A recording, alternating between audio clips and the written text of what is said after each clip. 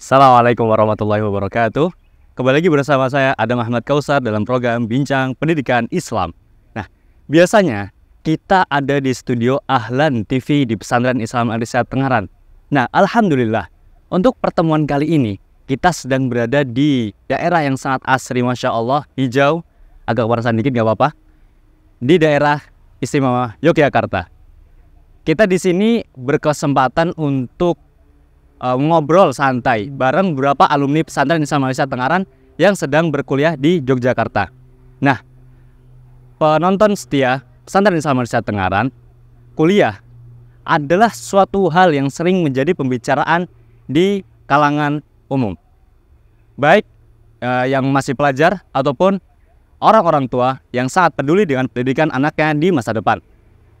Banyak dari orang yang memperhatikan tentang kuliah ini memiliki pandangan positif terhadap para mahasiswa yang mengambil kuliah.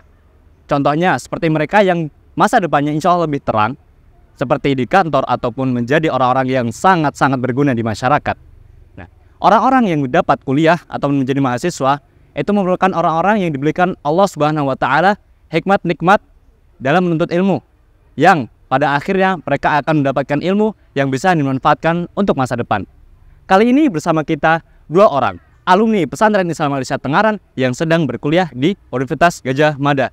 Mereka adalah Al-Ustadz Gazwa Safar Sofyan dan Al-Ustadz Ihsan. Assalamualaikum. Tak panggil mas aja enggak apa-apa ini ya? Gak apa-apa. Gak apa-apa, Alhamdulillah. Gimana nih Mas Ihsan, Mas Gazwa? Sehat? Alhamdulillah. sehat. Sehat, Alhamdulillah ya. Nah, jadi Mas Ihsan ini adalah alumni angkatan 31 ya? Iya. 31 dari pesantren Islam Malaysia Tengaran. Dan Mas Gazwa adalah angkatan 32 sama seperti saya.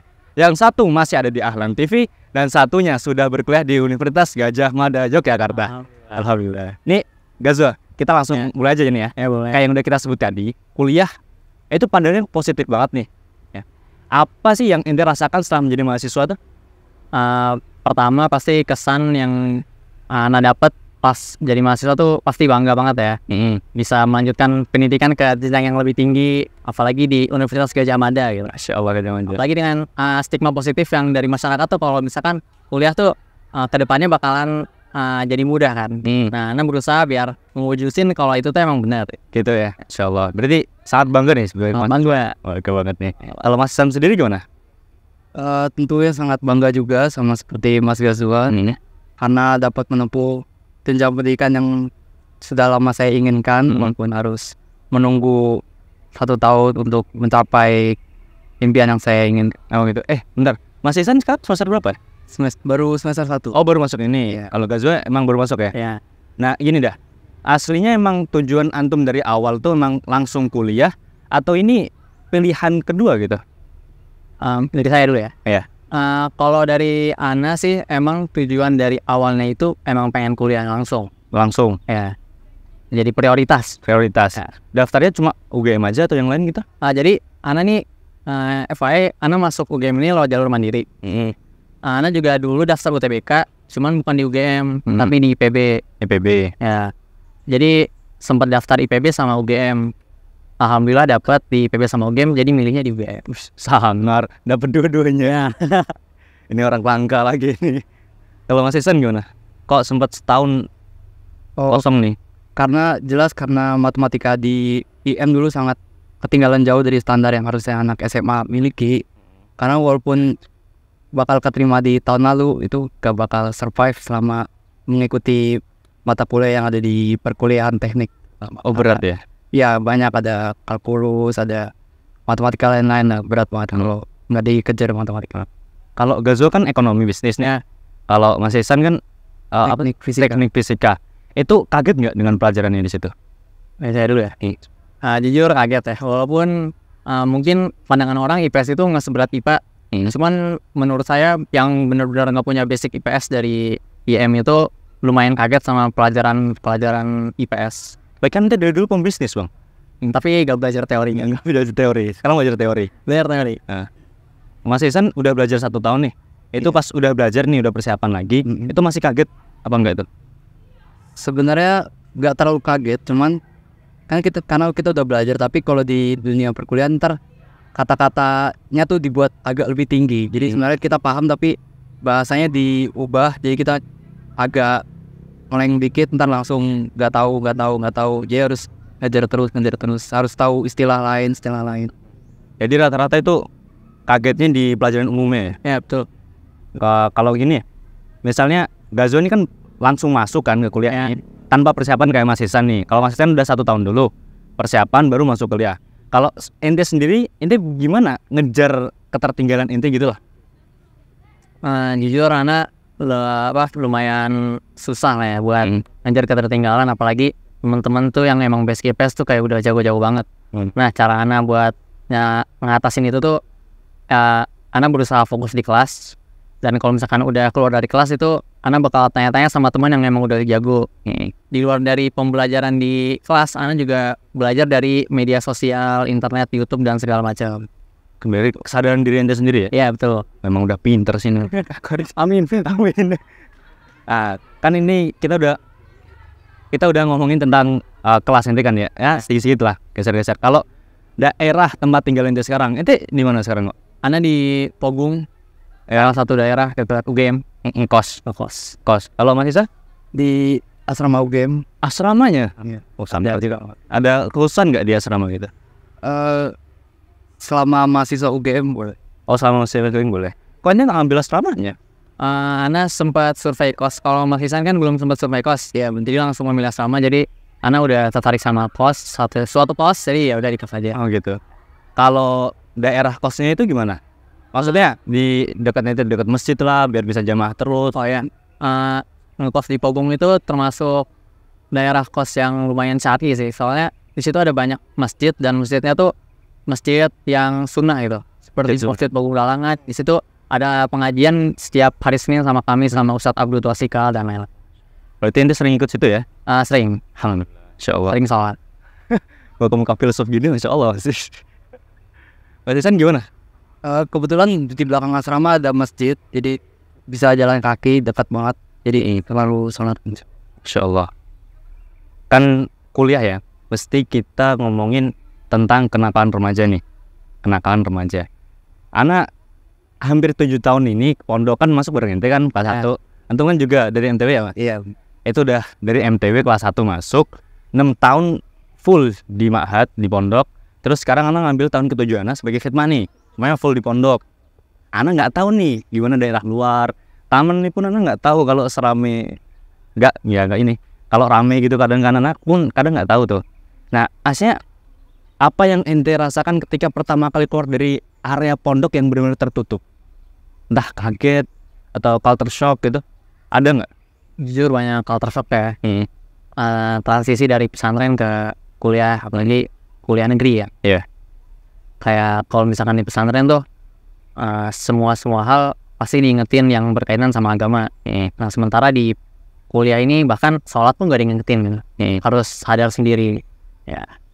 Ada nggak sih kejadian yang benar-benar bikin ente culture shock itu ada nggak?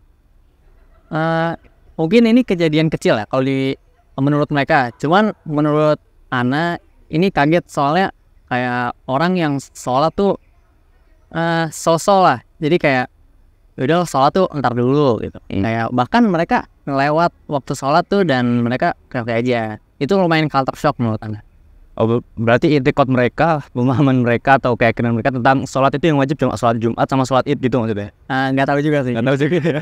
Nggak, soalnya sering dengar kayak gitu loh. Yang penting nggak sholat, tetap sholat Jumat itu masih muslim gitu. Ya, so ada mungkin ada yang berpendapat kayak gitu ya. Ah. Mungkin. Kalau buat Mas Ihsan sendiri gimana? Melihat keadaan di luar ini? Eh, kurang lebih aja sih kalau masalah sholat tapi kalau masalah sholat tuh mereka masih anggap sholat itu wajib tapi tidak wajib untuk tepat waktu Tidak wajib untuk Ya, tepat waktu. Berarti misalnya kan nggak tepat waktu ya. iya Kita jamak sholat lima sholat nih di besok itu nggak apa-apa nih mungkin. ya enggak juga kayak misalnya mereka habis aktivitas harian ntar baru pas pulang dari kampus baru dijamak semua sholatnya bagi mereka mungkin tepat waktu bukan suatu kewajiban walaupun sholat itu memang wajib Hmm. Insya Allah. Kalau ini kan Jogja nih. Ana pernah dengar kalau Jogja itu adalah tempat daerah pendidikan. Yang dimaksud daerah pendidikan di sini apakah benar-benar kerasa nggak di sini? Jadi eh, kalau menurut anak sendiri ya, soalnya kan di Jogja ini banyak banget kampus kan, Hmm. kayak dari UGM, UNY, UIN, Hmm. Amikom dan segala macam. Nah, jadi dibilang daerah pelajar tuh gara-gara banyak mahasiswanya dan juga banyak uh, spot-spot tempat kafe atau coworking yang emang khusus buat belajar gitu. Emang sering digunakan sama mahasiswa buat belajar. Oh gitu. Jadi serasa daerah pelajarnya. Alumni kita banyak ke situ nggak sih? Uh, yang apa? Api ya, Api ya. Alumni PIA. Ke Banyak banyak kak yang di tersebar di Jogja. Uh, setahu Anda banyak. Banyak. Di UGM sendiri berapa? Di UGM ada sekitar 10 10. Ya. Sama itu 10 berarti. ya? sama anak 10. Lumayan ya. Ya lumayan. Udah. Tapi anak pikir ya, karena nanti udah ngambil belajar agama nih, Ya. 6 tahun di pondok. Terus pas kuliahnya ngambil umum gitu. Kayak eh apa nih? ya? Kayak kadang agak aneh gitu nggak sih? Apa emang ente sengaja ngambil buat kepentingan yang lain gitu? Ya mungkin kayak agak kerasa beda ya soalnya kalau di pesantren kan dulu kayak setiap hari belajar pakai bahasa Arab nih belajar agama sementara di PTN itu kan sama sekali kayak nggak ada belajar agama. Walaupun ada matkul agama cuman kayak kurang diseriusin gitu lah Hmm. agak agak kaget juga sih sebenarnya. Hmm. kayak nggak ada asupan rohani. Kayak nggak kayak nggak asupan rohani. Eh, nah itu kalau menurut pandangan ente santri udah nyantri lama. Ya. terus masuk ke PTN itu anggapannya salah jalur apa enggak sebenarnya itu nggak bisa dibilang salah jalur ya. Nggak bisa ya? Nggak bisa. Soalnya mau bagaimanapun kan itu uh, keputusan yang dia pilih dan itu nggak secara langsung nggak nyeleweng dari syariat kita gitu. hmm. selama dia masih bisa ngejaga aturan-aturan agama Hmm. selama dia di kampus se- menurut anda itu nggak ada salahnya nggak ada saya nah menurut antum yang udah enam tahun kan ya Ya. setelah di pondok enam tahun di pondok terus sekarang masuk PTN itu rugi nggak Eh, nggak sama sekali sih soalnya mungkin emang dia lebih kurang di agama atau mereka yang memang lebih suka pelajaran umum daripada ngejar agamanya terus. Soalnya kalau menurut saya sih kalau menurut saya pribadi saya lebih suka pelajaran umum ya daripada pelajaran agama. Emang dari dulu lebih suka ngitung gitu. Oh lebih kurang itu saya masuk jurusan teknik gitu. Teknik. Insya Allah supaya hitung hitungan antum ya Iya. tapi kan gini loh maksudnya kan enam tahun. Eh, berarti kenapa nggak dari dulu gitu kan ya masuk? Antum kan rugi nggak kalau masuk pesantren ini? Rasa rugi nggak Enggak sih, karena kalau kita sekolah di luar, kita belum tentu dapat pelajaran agama yang sebanyak dari pesantren ini. kerasa nggak ketika antum udah belajar di pesantren gitu terus efeknya sekarang tuh masih membekas nggak? Jujur masih masih kayak pelajaran-pelajaran di sana itu kita jadiin sebagai dasar aja sih. Nih gimana? Soalnya kan kita yang kita tahu lingkungan uh, PTN pasti berbeda banget sama pesantren kan? Nih, jadi kita ambil ilmunya yang di pesantren buat diterapin jadi landasan aja di oh berarti uh, waktu antum yang udah antum ambil di pesantren tuh antum gunakan untuk membentengi diri antum gitu maksudnya? Gitu. dari kenakalan remaja yang di sekarang beredar ya? Nah kalau yang da, ini sesi cerita dah yang antum rasakan sendiri tentang kenakalan remaja yang paling parah yang pernah antum rasain di sini di khususnya di kota Yogyakarta. Apalagi UGM khususnya. Gimana mulai dari Gaza dulu gimana mungkin dari Ana ya? Iya. Eh, sebenarnya Ana udah tahu kenakalan ini dari lama. Nih cuman Ana nggak tahu kalau kenakalan ini tuh dilakukan segampang itu. Nih kayak eh, mungkin Ana sebut aja ya? Iya. Eh, kayak minum minuman keras Eh, mabok dugem. Itu mungkin udah jadi hal biasa kayak mungkin setiap minggu mereka melakukannya gitu. Berarti udah jadi keseharian dong itu? Eh, udah jadi hal yang normal. Hal yang normal berarti senormal itu kah senormal itu di beberapa komunitas atau beberapa individu sih. Ente udah lihat atau ngerasain sendiri berarti itu? Ana eh, tahu kabarnya sih. Ana Hmm. belum pernah sampai ngerasain. Enggak, belum pernah. Kalau Mas Isan gimana? Sama sih setahu ya Eh, sama sih, cuman mungkin bukan bukan senormal itu, cuman udah nggak tabu bagi mereka. udah nggak Bagi kita kan tabu untuk eh, melihat orang minum atau di kamarnya ada botol minuman keras sama segala macam. Bagi mereka udah nggak tabu, tapi nggak bisa dibilang senormal itu karena bagi beberapa orang juga nggak semua orang juga minum gitu. Betul. Nah, ini antum-antum apa pendapat antum tentang makhluk-makhluk yang di belakang sana? Gimana? Perempuan di situ gimana? nggak apa-apa deh Gak apa udah. Gak ganggu ya? Aman ya? Oke, kita lanjut aja nih berarti. Nah, kalau cara entum-antum ini mengantisipasi biar nggak ke bawah sama arus dari pergaulan bebas yang ada di daerah sini, di luar lah, di luar. Nah, itu apa yang antum lakukan? Em, dari Mas Isan Mas Hasan, gimana? Eh, itu saya kurang tahu ya untuk membentengi diri daripada dari pergaulan yang bebas sampai batas bebasnya segimana dulu kan? Ya maksudnya yang sampai nggak melanggar syariat gitu. Oh, kalau untuk sampai minum saya belum pernah sih. Nggak pernah, nggak akan insya Allah ya. Nggak akan insya Allah, bukan belum pernah. Kalau emang nggak ini sih nggak minat. Tapi kalau misalnya untuk berbicara dengan lawan jenis, kayak itu suatu saat akan dibutuhkan waktu dibutuhkan. eh, materi pembelajaran atau untuk suatu kebutuhan itu akan dibutuhkan karena bagi mereka agama untuk pergaulan bebas itu tidak dilarang ya. Maksudnya nggak terlalu mengekang gitu kan? Iya, tidak Bukan nggak dilarang gitu kan ya? Iya. Nggak terlalu mengekang ya. Memang sih emang iya sih merasa kalau ngomong tuh kadang juga dibutuhin gitu. Bebasnya ada batasnya kan? ada batasnya.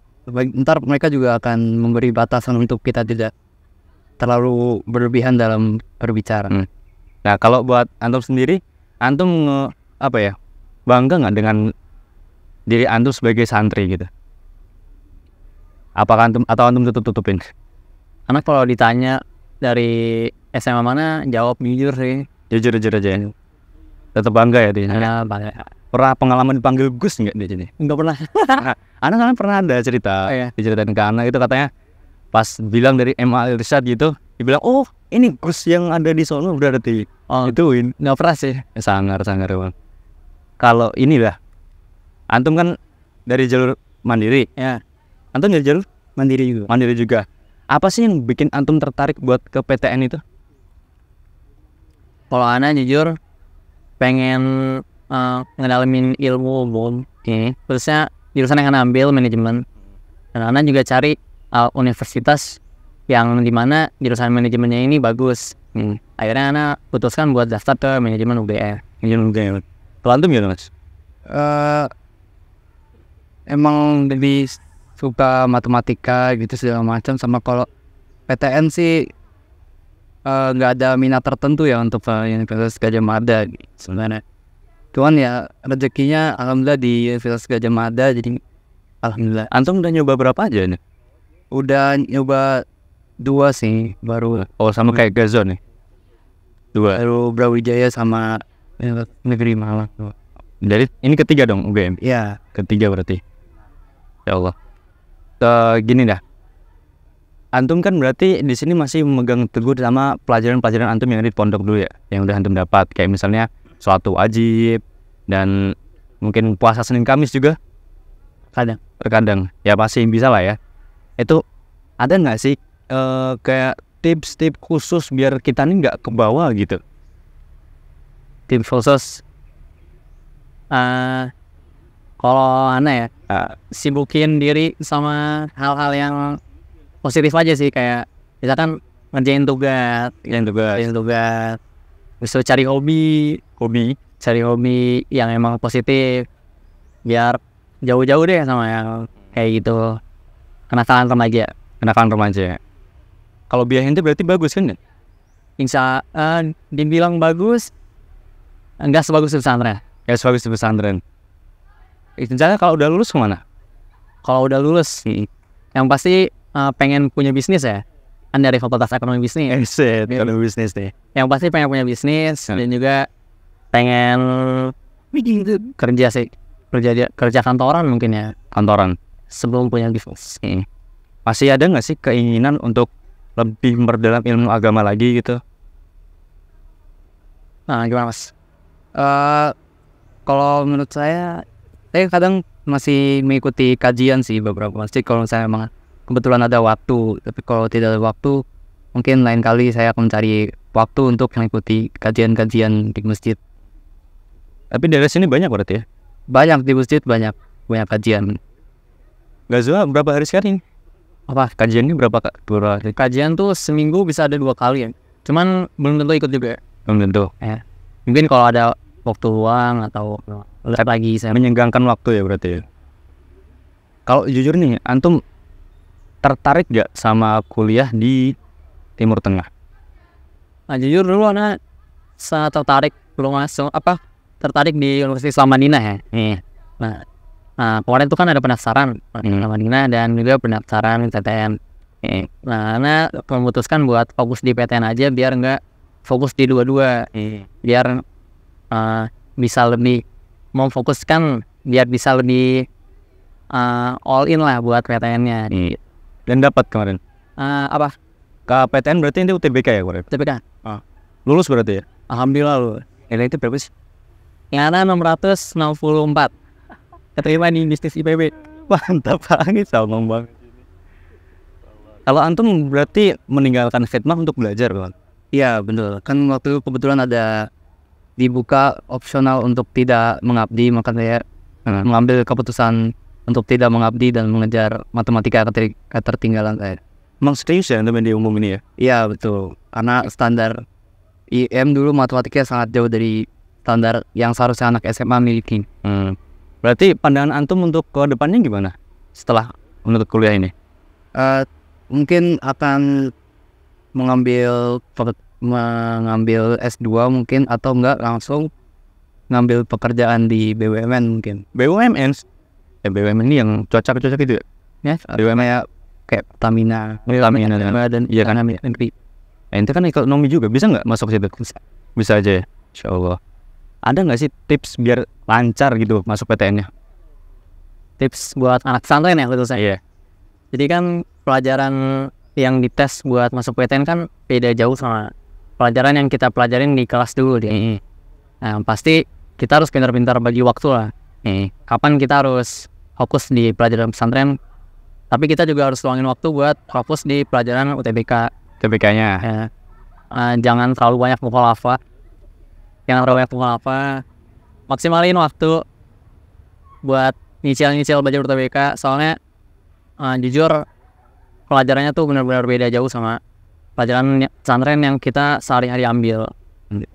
Ka- kan nanti udah merasain sendiri kan ya pas kelas 3 antum juga ada namanya tim edu nih. Ya, Tim edu studi lanjut itu salah satunya it, me- bimbel. Bimbel. Itu menurut antum bantu banget nggak? mudah-mudahan bantu sih. Hmm. Soalnya kan dengan adanya bimbel itu kita jadi bisa akses internet ya. Nah, akses internet ini yang bakalan ngebantu banget buat uh, belajar buat UTBK. TBK-nya. Ente ikut juga dulu. Karena ikut dulu. Nah, kan kadang tuh ada anak-anak yang mikir mereka tuh pengen masuk ke PTN. Ya. Tapi kan mereka merasa kayak ketinggalan nih. Mau Ya. belajar lagi kayak ngabisin duit gitu. Itu kalau menurut ente orang-orang kayak gini gimana nih? Ilmu itu ilmu modal ya. Bil modal ya. Jadi kalau emang benar-benar niat harus mau modal, harus mau berjuang gitu ya. Iya betul. Salah satu selain ikut bimbel ini di awal, ada cara lain nggak? Nah, yang pasti kita harus uh, ulik informasi sedalam-dalamnya sih. Hmm. Kayak jurusan apa dulu yang kita mau. Habis itu uh, subtes-subtes yang ada di UTBK itu apa aja. Baru kita mulai cari sumber belajar itu kan banyak. Mungkin bisa dari buku, dari internet, atau dari bimbel yang berbayar. gitu. Nah, eh, sekarang Mas Ihsan nih, ke sebelum antum ngambil satu tahun fokus belajar di umum ini, Hmm. ketika antum di IM, itu antum punya jadwal sendiri nggak untuk belajar ilmu-ilmu umum ini? Eh, kalau dulu belum ada sih, soalnya dulu masih belum mikir kalau kalau dulu kan belum ada pilihan untuk tidak mengabdi ya. Baru diumuminnya setelah udah mau lulus. Jadi pas mau lulus baru ya udah baru kepikiran untuk belajar umum dulu baru lanjutkan studi lanjut. Tapi kan antum tadi bilangnya dari dulu udah tertarik dengan hitung-hitungan Iya. atau ilmu umum yang lain. Berarti pas antum masih di pesantren, itu antum semangat dong pas belajar ilmu umum itu. Iya, Dan antum punya jadwal khusus nggak untuk pengaturan seharian antum? eh jujur dulu nggak ada sih sebenarnya. Hmm, nggak ada. Iya, baru setelah lulus, terus tahu ada pengumuman khidmah opsional, antum seriusin. Iya betul. betul. Gazwa sendiri gimana? Jadwal harian Dulu kan uh, pengumumannya beda dari yang angkatan Makisan. Iya. Jadi udah dari awal tahun udah tahu kalau misalkan uh, bisa langsung UTBK. nih. Itu pasti bikin jadwal khusus buat belajar ya. Iya. Uh, misalkan kalau anak dulu itu habis subuh habis subuh sampai mendekati habis bako itu sampai mendekati mau sekolah. Nih, Habis itu lanjut lagi tuh malam. malam. Malam pas jam belajar malam. Oh, ente yang pasukan orang-orang beli buku segede ini ya? Ya betul. Berapa berapa buku ini? Eh, ah, harganya Enggak berapa jumlah? Apa ente fokus satu buku aja atau beli yang lain? buku yang anak punya tuh Lima. Yang segede ini yang segini gini ada dua. Habis itu yang segini yang lebih kecil lagi tuh ada tiga. Seniat ini ente ya emang. Oke. UGM. Udah UGM terima IPB lagi ya. Alham- Alhamdulillah. Gimana tadi? Habis subuh, habis bako. Ya, Itu ente ada waktu belajar. ya. Terus habis itu malam lagi. Lanjut lagi malam. Habis lagi malam. Eh, terus di sekolahnya. Ya. Sekolah biasa nih. Sebelum ujian lah ya. Sebelum waktu ujian kan kita banyak jam kosong tuh. Hmm. Nah, sebelum waktu itu ente pas di umum nih. Pelajaran umum termasuk tinggi nggak? Nilai? Anjir, enggak Nggak. normal rata-rata. rata aja. Tapi emang dengan semangat ente pelajaran buku segini segit tebel ini, ya misal ya. Tapi 600 ke atas ini udah masya Allah, Ber. Alhamdulillah udah udah. Tapi ini bilang rata-rata lagi tadi ya. Wah, kurang ajar nih. Oke. Nah, Kazwa. Ya. Eh, terakhir dan inti dari segmen ini nih. Intinya apa yang akan antum persiapkan apabila misalnya nih hari antum bener-bener males untuk ibadah karena kebawa misalnya Kalau misalkan benar-benar males eh, buat ibadah karena kebawa teman-teman misalnya atau gitu. ke bawah teman-teman gimana sih biar tetap istiqomah tuh gimana loh dengan keadaan inti yang udah se long lost ini eh, yang pasti tetap ingat Allah lah ya. tetap ingat Allah Ingat Allah, tetap ingat orang tua juga. Hmm. Orang tua kan pasti pengennya anaknya tetap belajar ber- berada di jalur agama lah. Eh, jalur agama. Itu sih menurut Ana sih ingat orang tua tuh paling ampuh sih. ingat orang tua ya berarti ya. Berarti kalau nggak ingat durhaka ntar jadi ini ya betul. Betul Eh, kalau Mas Isan gimana? Biar tetap lurus di jalan yang benar. Kalau untuk di teknik sendiri, ini masjid teknik sendiri ya. Jadi kalau misalnya emang mau sholat itu sangat dekat sekali, jadi nggak ada alasan untuk tidak sholat tepat waktu gitu. Walaupun mungkin memang ketika azan kita masih ada kelas, tapi mungkin biasanya kelasnya nggak lama lagi udah mau selesai kalau memang Hmm. dosen sudah memperhitungkan dengan jam sholat. oh berarti dosanya murah wal mukotobin ya Iya, biasa dosen biasa dia memangkas waktu dari yang seharusnya biasanya dia udah selesai. untuk memang sengaja biar beribadah nih Ya beberapa dosen ada. berarti ada ada dan banyak kayak gitu Ya lumayan. lumayan ya Insya Allah kalau tempat antum disupport nggak untuk kayak gini Ada beberapa dosen yang memang sengaja dia uh, selesain kelasnya sebelum zuhur. Ada juga yang memang kurang peduli. nah, ada yang gitu? Kayak ya udah sesuai jadwal. tapi emang semuanya bergantung sama ke kesadaran masing-masing. Ya emang ya. Berarti proyek dikir dengan kajian gitu ya emang ya. Insya Allah Alah. Thank you Gazwa sama Mas Ihsan udah mau meluangkan waktu. Ana di sini mewakili tim yang bertugas sama asatidah yang udah temui tadi. Kita berterima kasih banget. Antum udah mau datang sini panas-panas ini kan daerah Jogja emang Masya Allah Ana tadi sempat shock berat ke sini. Setelah daerah Tengaran yang begitu asri datang ke sini dengan keringat yang sampai anak ganti baju juga tadi kan. Antum udah terbiasa berarti di sini. Ya bisa dibilang tetap panasan orang Bogor sih. Kalau Kalimantan yang panas ya mas? Iya. Insya Allah kami sangat berterima kasih banyak. Jazakumullah khairan kasiran. Semoga selalu diberikan keistiqomahan di daerah ini di waktu menuntut ilmu ini Semoga antum diberikan oleh Allah yang terbaik di masa ini dan masa yang akan datang. Oke baik pemirsa Sekian apa yang bisa kita obrolkan dan kita bincangkan untuk hari ini segmen ini. Mohon maaf apabila ada salahnya. Kami mewakili tim yang bertugas Mohon maaf yang sebesar-besarnya. Apabila ada kurang maka itu murni dari saya pribadi dan apabila ada kelebihan maka itu murni dari Allah Subhanahu wa taala. Oke, kita tutup dengan wafat majelis. Subhanakallahumma wa bihamdika asyhadu an la ilaha illa anta. Wassalamualaikum warahmatullahi wabarakatuh. Cheers. Assalamualaikum warahmatullahi wabarakatuh. Alhamdulillah saat ini saya sedang berada di Universitas Gajah Mada UGM sedang menyambangi para alumni pesantren Islam Al Irsyad yang sedang menempuh pendidikan lanjut di UGM ini. Kami doakan semoga para alumni kami dimudahkan di dalam menjalankan eh, pendidikannya dan diberikan keistiqomahan dalam menjalankan agamanya. Amin amin ya rabbal alamin. Assalamualaikum warahmatullahi wabarakatuh.